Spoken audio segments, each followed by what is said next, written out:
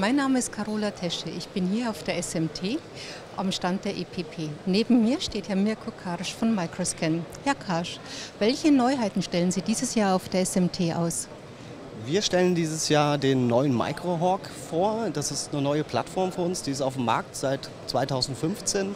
Ähm, seit diesem Monat gibt es die Geräte auch mit einer UHD-Linse drin, was es uns ermöglicht, Codes, also direkt markierte Data Matrix Codes zum Beispiel, in der Auflösung von 2 Mill, was eine Elementgröße von 0,05 Millimetern entspricht, auszulesen. Ist eine neue Technik. Ähm, die Markierung ist noch schwieriger als das Auslesen. Wir freuen uns, dass wir bereits so weit sind, diese Codes mit unseren kleinen Geräten auslesen zu können. Welche Zielgruppe adressieren Sie damit? Wir adressieren damit ganz klar die Elektronikindustrie. Äh, die Markierung von Bauteilen und von Leiterplatten schreitet immer weiter voran. Ähm, das Thema Traceability wird immer stärker verfolgt. Ähm, wir stellen uns darauf ein und wollen den Ansprüchen den Kunden, des Kunden gerecht werden und denen ermöglichen, wirklich jedes einzelne Bauteil, jede einzelne Leiterplatte rückverfolgbar zu machen.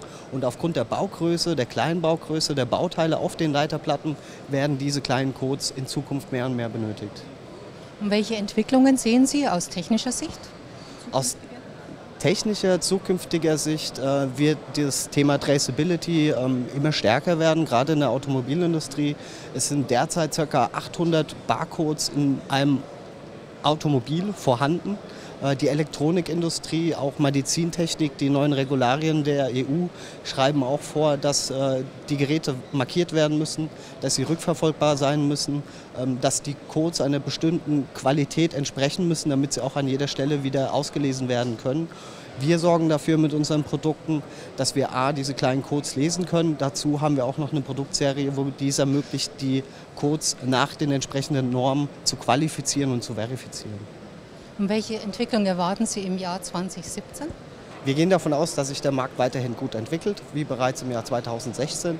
Die Traceability schreitet weiter voran. Es wird für Kunden immer wichtiger, ihre Produkte rückverfolgbar zu machen und um im Nachhinein genau sehen zu können, wann wurde welches Produkt hergestellt, an welchen Kunden verschickt, welche Bauteile befinden sich zum Beispiel auf einer Leiterplatte. Das betrifft ganz besonders die Automobilindustrie und auch die Medizintechnik, die durch neue Vorgaben jetzt auch dazu getrieben ist, die Traceability weiter einzuführen. Vielen Dank für die Informationen. Dankeschön.